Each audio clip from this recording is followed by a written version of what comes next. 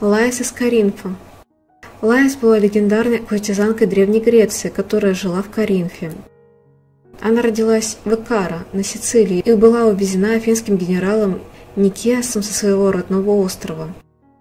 Платы, которые она взимала за свои сексуальные услуги, были легендарными – 10 тысяч драхм в то время, когда она начинала. Она была известна не только за свою красоту и плату, но также и за свой непревзойденный интеллект и очарование. Ее услуг и внимания жаждали самые великие философы и лидеры того времени. Диоген и скульптор Мирон искали ее внимания. Демосфен относительно ее услуг и цены на них сказал, что я не покупаю раскаяние за 10 тысяч драхм. Она высмеяла социальные претензии Каринфа и заметила, что философы были так часто в ее двери, как и остальная часть Афин. Она переехала в Фессалию и завязала дружбу с молодым Гиппостратом.